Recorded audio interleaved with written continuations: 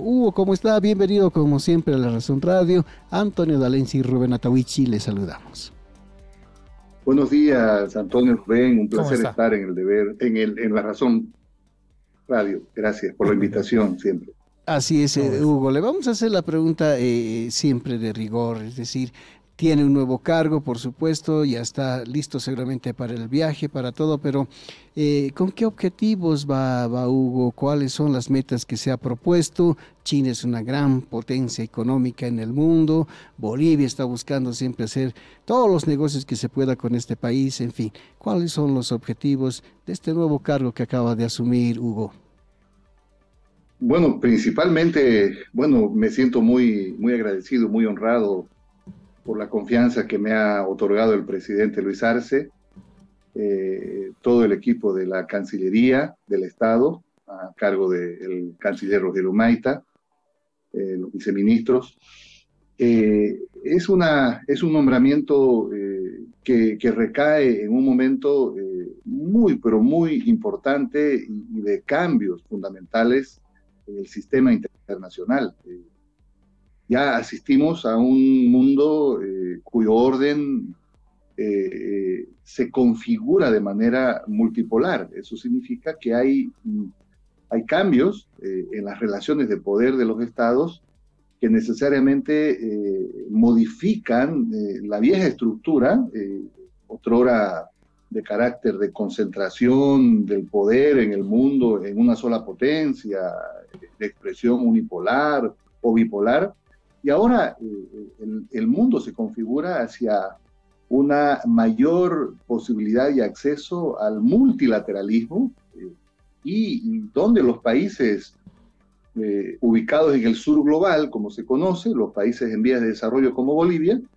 pues tenemos la oportunidad de gravitar de manera más independiente, con más autonomía, sin las subordinaciones del pasado, y con todas estas formas que se están eh, articulando eh, en esta nueva, nueva forma, si vale la redundancia, de la diplomacia multilateral. Y por eso es que eh, Bolivia y Chile y, China tienen una extraordinaria oportunidad para poder fortalecer la agenda bilateral, que ya es una agenda muy, pero muy robusta, que se ha ido construyendo en años a partir de, toda una, una, diplomacia de alto nivel eh, sostenida por ambos países. Eh, recientemente el presidente Luis Arce eh, sostuvo una comunicación telefónica con el presidente Xi Jinping y obviamente esto significa que una de las, de las cuestiones esenciales de esta relación bilateral, que ya tiene 38 años de vigencia de relaciones ininterrumpidas, pues tiene este, esta, esta forma de, desarrollar la relación a partir de la comunicación diplomática de alto nivel. Por eso es que los objetivos de una eh, misión diplomática permanente de Bolivia en Beijing, eh, en China, eh, están dentro de, una agenda histórica que ambos países han construido. tenemos en este momento las ventajas de, esta eh, confianza política mutua entre ambos países. Hay una complementariedad económica y comercial importante y un aprendizaje también civilizacional que nos permite eh, abordar una agenda bilateral, como dije, robusta, que, se, eh, que comprende temas propios, primero de la cooperación en tecnología, en asistencia tecnológica, hacia eh, la industrialización de nuestros recursos naturales. El litio es importante por la política que el presidente Luis Arce ha lanzado al país de industrializar nuestros recursos naturales y para ello eh, China es un socio estratégico, un aliado estratégico, tiene eh, la tecnología a disposición para que de manera soberana nuestra industrialización de recursos naturales pues tenga eh, a un aliado estratégico como China. El presidente Luis Arce eh, este año estuvo en la, en la firma de, de, de, acuerdos de asociación estratégica para poder promover la construcción de plantas de carbonato de litio. Ese es un tema importante en la agenda bilateral, sin duda. Está también la diversificación de nuestra oferta exportable a China. Si bien hoy tenemos un déficit de balanza comercial, claro,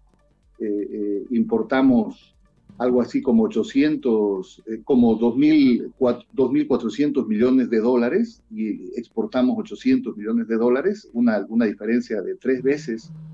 es lo que más compramos a China, maquinaria, bienes de capital, pero el desafío está de aumentar nuestra, nuestra oferta exportable. Ya se han venido trabajando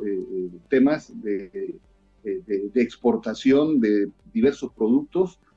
agropecuarios, manufacturas que eh, pueden, eh, pueden ubicarse en este extenso y, tan, eh, tan importante mercado que ofrece China, principalmente en la compra de alimentos. Y, otro tema también que, que, está en, en, vista para poder trabajar, en continuar, darle continuidad a esta agenda bilateral tan robusta, insisto, entre Bolivia y China es eh, eh, esto de eh, la iniciativa de la franja y la ruta. Es, es la iniciativa que el año 2003 el presidente Xi Jinping lanzó al mundo. La iniciativa de la franja y la ruta es sobre la base de, la antigua ruta de la seda, construir los accesos, la infraestructura del mundo para poder motorizar el comercio, para poder eh, desarrollar mejor la logística. Y bueno, Bolivia está en un proceso eh, intenso de poder mejorar también la infraestructura cafetera, eh, ferroviaria. Estamos en el, en el, proceso de integración nacional. Se ha hecho mucho, se ha trabajado mucho ya en los últimos años, pero con un país que está marcando una iniciativa hacia el mundo, pues tenemos la oportunidad de fortalecer y de continuar, eh, de potenciar esta eh, iniciativa de la franja y la ruta. De hecho, Bolivia tiene un, una ley ya eh, firmada con China, este memorándum de entendimiento que se, se, se, firmó el año 2018, que se ha convertido en la ley 1170 de la franja y la ruta, nos permite visualizar entre ambos países una agenda eh, con, con, principios, con objetivos, que precisamente pasa por esta, por esta forma de eh, poder cooperar y trabajar en la construcción de infraestructuras que permitan motorizar el comercio, generar mejor eh, la disposición de la logística en el mundo. Entonces, es una agenda, insisto, robusta, la que tienen ambos países. Además, una, una, una, una integrada complementación eh, también de intercambios de educación, de cultura, que ambos sostenemos, eh, nos, da lugar a que, eh, bueno, tengamos como uno de los países prioritarios para nuestros intereses de política exterior, pues China. el canciller Rogelio Maita lo decía ayer de manera muy clara, Bolivia está abierto a todos los países del mundo en, el marco de su relacionamiento y claro, con algunos países eh, como China hemos ido construyendo una agenda eh, muy eh, interesante y muy significativa a los intereses de Bolivia. China, como ustedes bien saben, es integrante de este grupo estadocéntrico llamado los BRICS, que ya tienen una vigencia, yo diría, de dos décadas, pero que mm, han ido construyendo una intensa relación de los países representantes del sur global, eh, eh, eh, Brasil, Rusia, China, India y Sudáfrica, y recientemente abrieron la, la, posibilidad de que se integren seis nuevos países, Argentina, Egipto, Etiopía, Irán, Emiratos Árabes Unidos y Arabia Saudita, son los seis nuevos integrantes. Como ustedes saben, Bolivia ha contemplado en su agenda eh, no solamente bilateral con, con China, sino también eh, con estos cinco países, el que podamos ser eh, miembros integrantes. Se han hecho las gestiones, el, presidente Luis Arce, el canciller Rogelio Maita, han hecho la, formalización de nuestro, nuestra solicitud de ingreso. Hemos sido invitados como país en la cumbre de agosto pasado en Sudáfrica. y todas estas gestiones pues tienen que culminar con el, ingreso formal de Bolivia a los BRICS. Entonces, eso es parte de la agenda con un socio estratégico como, China, que sin, duda vamos a impulsar bajo los lineamientos y las directrices de la Cancillería del Estado. Eh, Hugo, cierto, eh, la parte, digamos, económica prima, eh, están los productores de carne, los productores de chía, pero también está el litio por el otro lado. En lo político, Hugo, ¿esto de los BRICS va a ser lo, fundamental o hay otros planes? No hay duda que los BRICS, como grupo estadocéntrico, eh, que tiene una, eh, una, amplia representación del sur global, eh, que hoy en términos de medición de su influjo en el mundo, los, los BRICS significan casi el, el 50% de la población mundial, estamos hablando del 46% de la población mundial, un 36% del PIB global, es decir, el tamaño de los BRICS comparado al, G7 eh, ya ha sobrepasado los, los, BRICS en el impacto. El G7 conformado por Estados Unidos, Canadá, Inglaterra, Alemania, Italia, Francia y Japón eh, contemplan tan solo el 10% de la población y algo así como el 28, 29% del PIB global. Entonces, eh, el sur global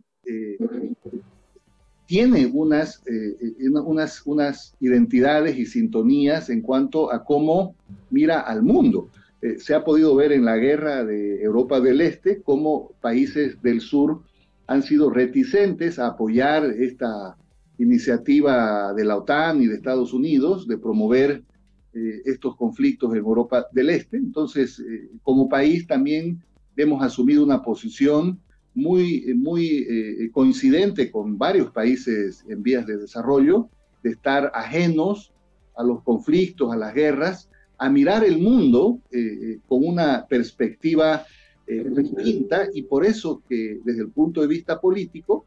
pues por supuesto que los, que los BRICS ofrecen mayores oportunidades para que nuestro país pueda no solamente gravitar en cuanto a sus intereses, de política exterior, sino mm, tiene mayor sintonía y conexión con varios países que integran eh, los BRICS y que son parte del sur global. Eh, Bolivia también eh, estrecha sus relaciones con la India, tiene intensas relaciones con Brasil,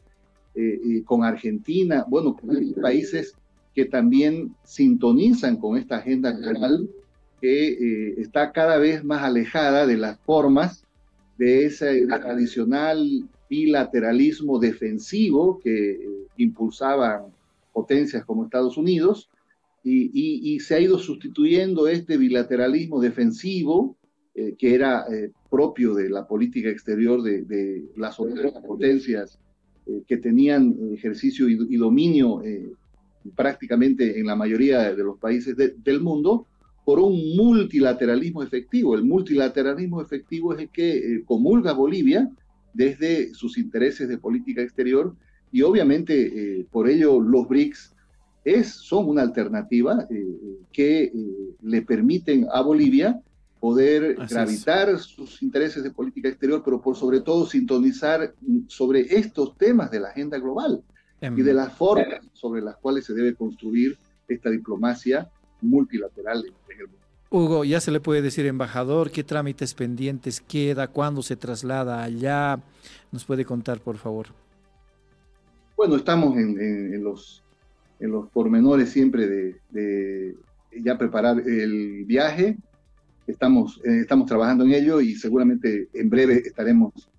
en, en nuestro nuevo desafío de trabajo y de servidor público en Beijing, China. Ahora, China obviamente tiene que dar el, eh, agreement y ya está resuelto esto. El, procedimiento eh, para el ejercicio de un embajador en, en, un país en el mundo, de acuerdo a la Convención de Viena del año 1961, que es la Convención de Relaciones Diplomáticas, eh, primero se hace la solicitud del placet eso ya fue hecho en el mes de junio. El país otorga el beneplácito, el placet, ese es el, el, el, agreement, también se conoce como, como, como ese término, y eso ya se hizo en el mes de junio. Luego de ese, de ese procedimiento que es fundamental para, para, para poder continuar el trámite, porque es el país eh, o el Estado receptor que le otorga al Estado acreditante el eh, beneplácito para la, persona que el presidente del Estado eh, designa, hace las consultas, luego pasa por el Senado en instancias como la Comisión de Política Internacional, para poder hacer el, el trabajo de exposición del plan de trabajo, y luego pasa de la Comisión de Política Internacional, previamente a, eh, como señala la Constitución, a eh, la aprobación o rechazo del Senado, eh, que en sesión reservada tiene que pronunciarse sobre la designación respectiva. Una vez está la designación respectiva, pues el, trámite concluye con la juramentación eh, y, la, y la posesión respectiva del cargo de embajador. Eh, obviamente, luego de cumplir algunas exigencias de administración que son indispensables, esto se hace en todos los países. Y cuando uno termina eso y viaja al país eh, receptor, al estado receptor, tiene que presentar, tiene que haber dos actos ahí, presentar las cartas credenciales copia de estilo, como se conoce al canciller del país del estado receptor, y una vez presentadas esas, esas cartas credenciales, copia de estilo, como se conoce, recién entra en funciones a partir de ese momento, el momento que recibe el canciller del estado receptor las cartas credenciales copia de, copia de estilo del estado acreditante, recién eh, entra en funciones el embajador para luego eh, eh, tener una ceremonia que ya cada país eh, tiene su propio estilo y le debe presentar los originales de la carta credencial al presidente del Estado, en este caso, Dios mediante, tendremos el honor de presentarle las cartas credenciales en original al presidente Xi Jinping. Ahora, cuando usted tiene experiencia diplomática, ¿será su, su primera experiencia? ¿Nos puede contar brevemente? Bueno, eh, soy de, formación internacionalista, eh, estudié la carrera de Relaciones Internacionales y estuve ligado al campo académico eh, casi 25 años eh, precisamente eh, enseñando en diferentes universidades del país y del exterior eh, las materias específicas que tienen que ver con política exterior, política internacional, derecho diplomático y consular, diplomacia global, son las asignaturas que de alguna manera desde la academia resultan indispensables para el conocimiento y el ejercicio tanto de la política exterior como del ejercicio de la política exterior y de la ejecución, que es la diplomacia. Entonces, nuestra experiencia en el campo académico eh, ahora eh, aterriza en el, en el, campo específico del ejercicio del cargo diplomático, eh, gracias a, a, esta confianza muy honrada por el presidente Luis Arce.